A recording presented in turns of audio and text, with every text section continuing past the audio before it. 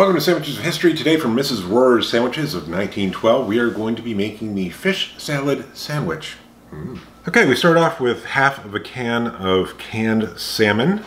And to that we add in salt, pinch of cayenne, and shredded cucumber that has been squeezed.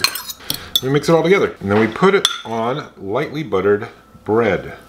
And Mrs. Rorer says to put a layer of mayonnaise on top of this. Um, yeah, why would I do that when I can just do this?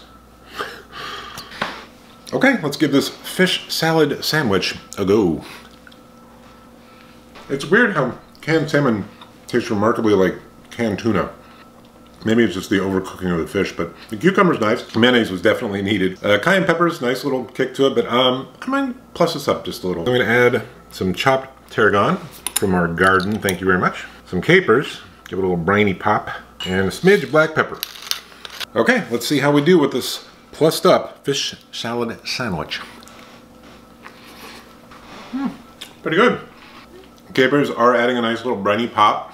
Black pepper is always welcome in my house uh, on just about everything. And then the tarragon's bringing this kind of like a licorice kind of note that always goes well with salmon or chicken. So, wow, yeah. I'd probably give the one before plussing it up a five. It was fine, it was solid. After plussing up, I'd probably give it about seven.